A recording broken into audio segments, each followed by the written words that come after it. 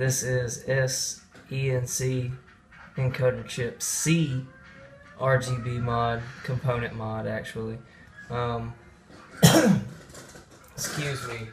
So I was running green to 23 pin and I was getting signal but it was not an amped signal so I got on YouTube got up with Polak and he told me to do this which is tap green from your 7 pin on your AV out and then run that to your green so this is successful mod you can see that the colors are all nice and neat now. Sorry that it won't focus.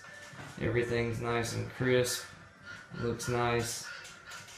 Can't believe it actually looks like this, but um, yeah, this is S-ENC encoder chip success.